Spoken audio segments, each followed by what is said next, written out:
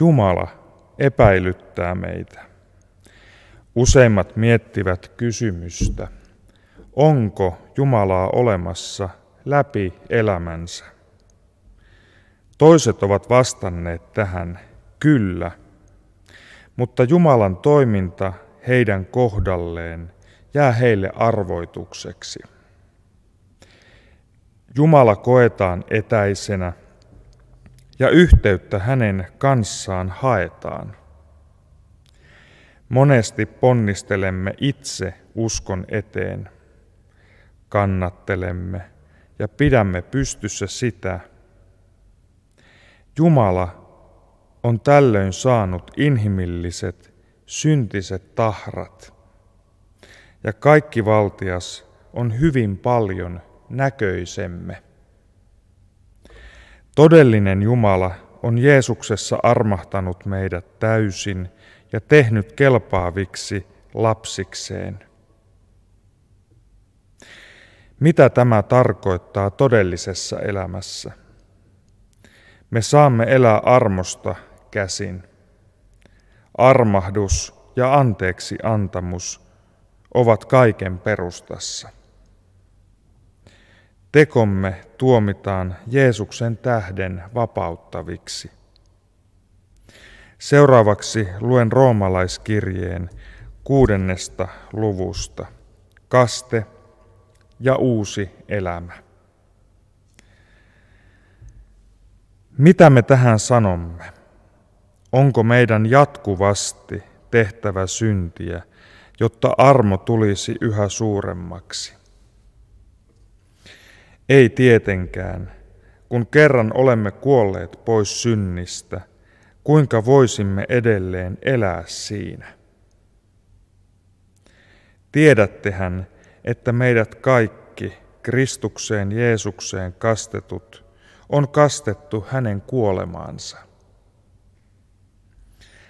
Näin meidät kasteessa annettiin kuolemaan ja haudattiin yhdessä hänen kanssaan, jotta mekin alkaisimme elää uutta elämää, niin kuin Kristus Isän kirkkauden voimalla herätettiin kuolleista. Jos kerran yhtäläinen kuolema on liittänyt meidät yhteen hänen kanssaan, me myös nousemme kuolleista niin kuin hän. Tiedämme, että vanha minämme on yhdessä hänen kanssaan ristiinnaulittu, jotta tämä syntinen ruumis menettäisi valtansa, emmekä enää olisi synnin orjia. Se, joka on kuollut, on näet päässyt vapaaksi synnin vallasta. Mutta jos kerran olemme kuolleet Kristuksen kanssa, uskomme saavamme myös elää hänen kanssaan. Tiedämme, että koska Kristus on herätetty kuolleista, hän ei enää kuole, eikä kuolemalla ole enää valtaa häneen. Kun Kristus kuoli, hän kertakaikkisesti kuoli eroon synnistä. Kun hän nyt elää, hän elää Jumalalle. Ajatelkaa tekin samoin itsestänne. Te olette kuolleet pois synnistä ja elätte Jumalalle Kristuksessa Jeesuksessa. Synti ei siis saa hallita teidän kuolevaista ruumistanne niin, että noudatatte sen himoja. Älkää antako ruumiinne jäseniä synnin käyttöön vääryyden aseeksi. Kun nyt kerran olette siirtyneet kuolemasta elämään, antakaa itsenne Jumalalle ja ruumiinne jäsenet hänelle vanhurskauden aseiksi. Synti ei enää ole teidän Herranne, sillä te ette ole lain, vaan armon alaisia. Orja on sidottu isäntäänsä, koska tämä omistaa hänet. Orjan asemassa joutuu tekemään, mitä isäntä sanoo. Orjalla on oikeudet isäntänsä kautta. Itse he eivät pääse asioihinsa vaikuttamaan. Orjan asemassa ei pysty valitsemaan toista tietä. Suomalaisessa työelämässä töistä pääsee ainakin pois aina. Silloin jää ilman sitä korvausta, mitä työstä maksetaan. Orjalla ei tällaista mahdollisuutta ole. Hän ei ole itsenäinen. Ajatelkaa kuvaa, missä ihminen pitää talutusnuorassa koiraa. Ihminen määrää, mihin koira menee, ja pitää tätä otteessaan. Henkisesti orjan ja isännän suhde on samanlainen. Nyt ajatelkaa, että isännän paikalla on synti ja sen isäntä paholainen. Lankemuksen valossa se määrää elämää. Perisynti tulee syvältä sydämestä ja käy ulos ajatuksin, sanoin, teoin ja laiminlyönnein. Pyhän Jumalan edessä saamme varmasti tuomion itsessämme. Mutta nyt Jeesuksen kuolema ja ylösnousemus avaa meille aivan toisenlaisen suhteen, aivan toisenlaisen valtasuhteen.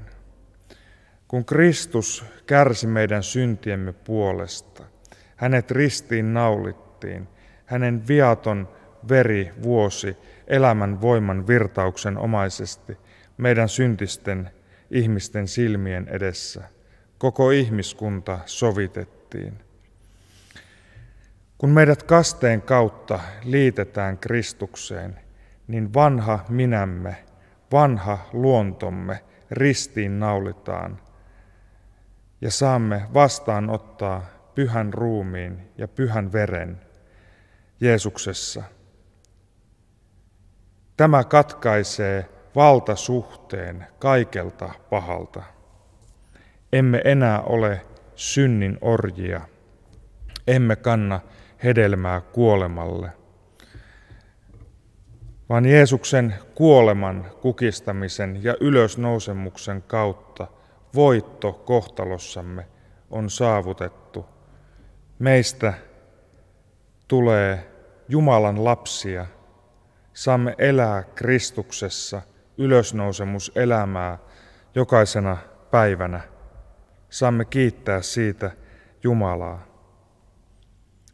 Tämä valtasuhteen muutos synnin orjuudesta, voisiko sanoa armon orjuuteen, Kristuksen orjuuteen.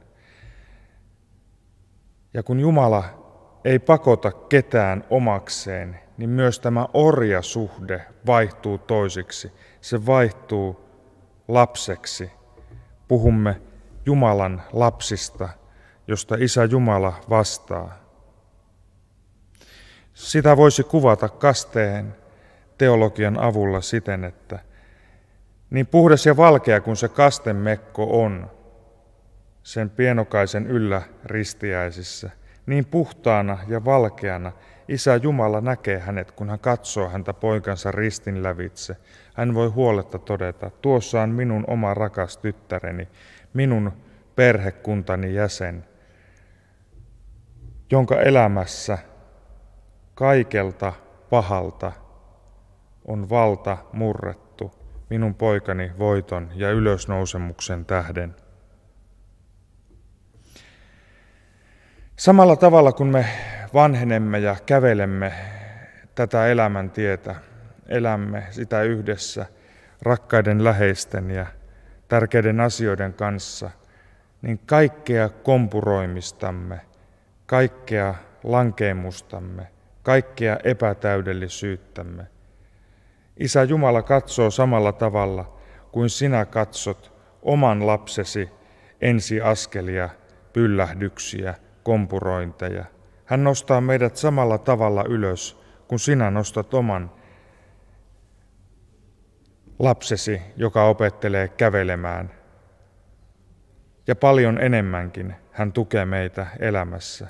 Mutta oleellista on se hänen rakastava katse poikansa voiton tähden, että tuossa ne minun omat rakkaat lapseni taas hölmöilevät ja tekevät mitä tekevät.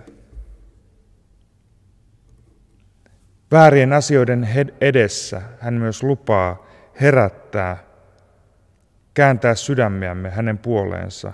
Oman tunnon kolkutus, oman tunnon ääni on tärkeä yhteydenpidossa hänen kanssaan. Meidän on myöskin hyvä elää yhdessä toistemme kanssa, nähdä toisemme rinnalla kulkijoina, ihmisinä, jotka etsivät ja tarvitsevat samoja päämääriä kuin itsekin. Meidän on hyvä rakentaa ihmissuhteita siitä käsin, että me olemme yhtä. Me olemme yhtä syntisinä, armon tarvitsijoina, mutta ennen muuta me olemme myöskin yhtä Kristuksessa Jumalan lapsia.